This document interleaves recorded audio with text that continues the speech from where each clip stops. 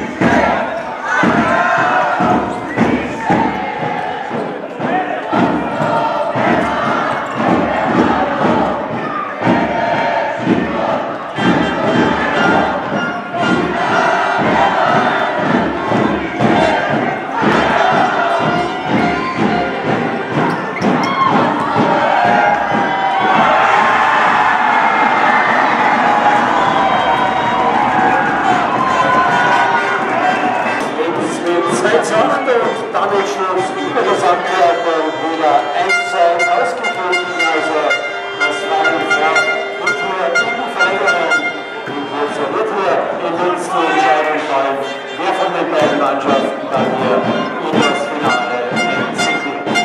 Ja, das ist gut, das ja, wir sind hier im Margareten, wo normalerweise die Handballer zu Hause sind. Heute die Fußballer, die wie sagt man dazu? Futsaler. Futsaler, genau, okay. Äh, ein interessantes Spiel ist Hallenfußball ohne Bande, kann man das so in etwa sagen? Genau, es ist Hallenfußball ohne Bande. Es wird auf ein Handballfeld gespielt mit einem kleineren Ball, der weniger springt. Die FIFA und die UEFA hat einen Ball entwickelt, der für den Hallenboden entwickelt ist und nicht der normale Fußball, der herumhupft wie ein Flummi. Also man, kann, man muss schon sagen, es ist eine sehr, sehr äh, schnelle Sportart, wo viele Tore fallen, viel. Also ich kenne kein äh, langweiliges Futsal-Match. Also das heißt, äh, Futsal ist sehr wohl von, vom ÖFB und von der FIFA, äh, Beach Soccer noch nicht. Ne? Beach Soccer noch nicht. Es gibt auch beim ÖFB die Futsal-Nationalmannschaft, das gibt es schon. Wir haben jetzt auch die WM-Qualifikation gespielt letzte Woche gegen Belgien in Simmering. Nein, nein, also da tut sich schon einiges im Futsal. Da ist die UEFA auch extrem dahinter. Es gibt auch eine UEFA Futsal Champions League, weil wenn du Meister wirst in Österreich, spielst du die Champions League. Das ist aber auch die wahre Champions League, weil da, dort darf wirklich nur der Meister spielen aus jedem Land. Also in dieser Sportart tut sich schon extrem. Spanien, Portugal, Italien, äh, das sind die Vorreiter. Das sind die ganz, ganz starken Nationen im, im Futsal. Jetzt wollen wir natürlich auf das Spiel auch eingehen. Erstens einmal Respekt bis zur letzten Minute gekämpft, kein bisschen aufgegeben. Also, obwohl die Resignation war dann schon ziemlich stark. Ja, so, wir haben die erste Halbzeit wirklich gut mitgehalten. Das ist gut mitgehalten. Wir waren ebenbürtig, haben unsere Chancen nicht gemacht. Äh, kommen raus zur Halbzeit, die machen uns gleich das 3-1 äh, der ganze Spielplan für war über den Haufen. Und dann haben wir natürlich mehr auf Pressing spielen müssen. Wenn du auf Pressing spielst, ist natürlich so, dass du hinten offener bist, ähm, Risiko eingehen musst. Ja, aber das ist halt so. Und äh, sie haben natürlich uns eiskalt ausgekontert. Zum Schluss hast du vielleicht gesehen, dass wir den Tormann rausgenommen haben. Das heißt beim Futsal Flying Goalkeeper. Und äh, den haben wir heute nicht so gut gespielt. Ne? Ja, weißt du, du versuchst halt über Zahl ein, ein Tor zu machen. Äh, ist uns dann auch nicht gut gelungen. Dann haben wir zum Schluss dann noch ein paar Tore bekommen. Unterm Strich ist das Resultat zu hoch ausgefallen. Was ich sagen muss, war die Stimmung sensationell in der Halle. Also es waren über 600 Leute hier, äh, was, mir, was mir extrem taugt. Schade, dass, die, dass unsere Leute halt keinen Sieg gesehen haben von uns. Das ist klar. Das heißt, das erste Mal, das erste Spiel wurde in Linz gewonnen. So ist es, 5 zu 2. Und jetzt geht es dann praktisch wieder nach Linz und da muss dann die Entscheidung fallen. So ist es. Und wenn es dort unentschieden steht, gibt es ein Penaltyschießen. Es muss dort einen Sieger geben. Ein wunderbares Spiel, tolle, toller, schneller Fußball, das macht Spaß. Und ja, ich kann nur gratulieren. Es war wirklich trotz alledem eine tolle Mannschaft. Manche Schiedsrichterentscheidungen waren mehr als fragwürdig, würde ich einmal sagen. Aber gut, so ist Fußball.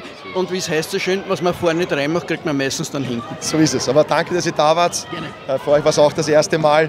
Und freut mich, dass auch die V21 in die Futsalhalle gefunden hat. Wunderbar. Und ich sage danke. Danke auch.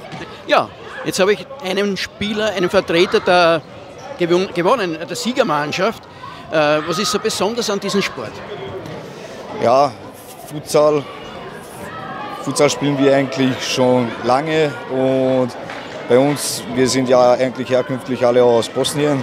Da wird es sehr viel gespielt und für mich einer der besten Ballsportarten. Absolut, sehr schnell. Sehr, ich muss einmal gratulieren, fantastische Leistung. Äh, Wenn es mir zwar als Wien ein bisschen weh tut, äh, habt ihr gerechnet mit dem Sieg?